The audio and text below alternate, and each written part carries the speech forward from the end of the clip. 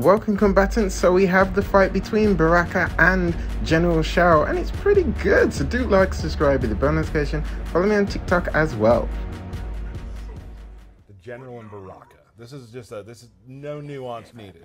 No, these are our two monster brawler guys. They love to fight. They're nasty. So we've got Baraka with Stryker. I love how he looks there with Stryker and Motaro lifting up as well with General Shao and General Shao doing that like, huh, try it man.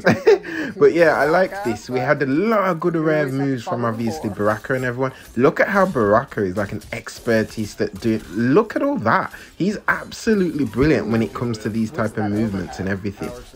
I'm honestly thinking Baraka's another character who they've managed to make so fantastic and top tier. And after seeing um, General Shao's gameplay as well, so when we're looking at all these moves now, we're kind of thinking, yeah, we know how you do that move or how that's utilized. But Baraka, we haven't had his deep dive yet, so we don't know. But from what it's showing, he's really, really brilliant. And like I said before, I love that when Stryker's called, the little blue sirens appear on the side. I think that's so cool to show he's pulled up in a car. It'd be cool if you could hear the car pull up though. And then we have this, his fatal blow, which is really, really cool. So obviously we know Stryker does his move, his police brutality, which is sick. But then Baraka comes in, he starts jabbing him classic, breaks it down, and then obviously jukes him again. I thought that was a nice way to finish off that part of the match. And there's the light sirens on the side, classic um, Stryker pose. And then we carry on to the round two. And I honestly wanted Baraka to win because I wanted to see um, him do his um, classic move with um, Stryker, but obviously we didn't get to see that. But at least we saw Motaro's fatality. But yeah, Stryker's really good. I like this. Watching the gameplay with Striker coming in and doing these type of moves really honestly made me want to have like you know to have um stryker playable in this game. It was good. Motaro coming in and doing his hits. so was really good seeing him do all these type of fight moves and everything. It was fantastic. but then also seeing Shao he's absolutely dominant. If you break your guard down like that it, it's kind of almost it's already over. Like there's not much else you could do. He takes so much damage because he's so good. And I thought Baraka was coming back here, but then, you know, General Shao comes out of nowhere with his typical strength and wins through the match. Such an awesome pose. Look at Motaro.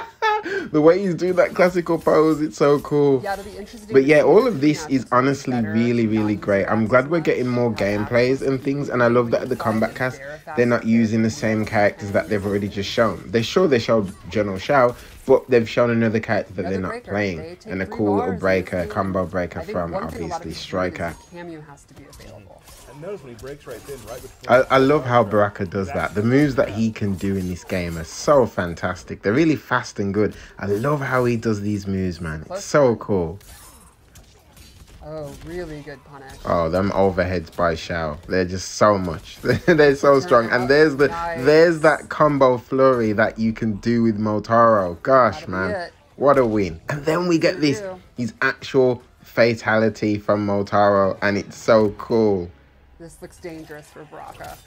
Who'd have thought that he would do a move like that? Like that's so great. Wow, they have honestly made Motaro fantastic in every way. But let me know, guys, what do you think of his gameplay and his obviously fatality? But do like, subscribe. This is your boy, Future Boy. As always, stay frosty peeps. Peace.